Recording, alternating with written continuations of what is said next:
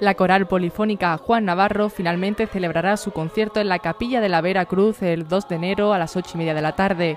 No se ha podido realizar antes como era la intención de la coral, concretamente el pasado día 25, debido al problema burocrático que ha supuesto la nueva regulación del arzobispado en la que se exige comunicar con un mes de antelación la solicitud de usar los espacios eclesiásticos. Será el día 2 de enero cuando la coral deleitará a su público con un amplio repertorio de villancicos.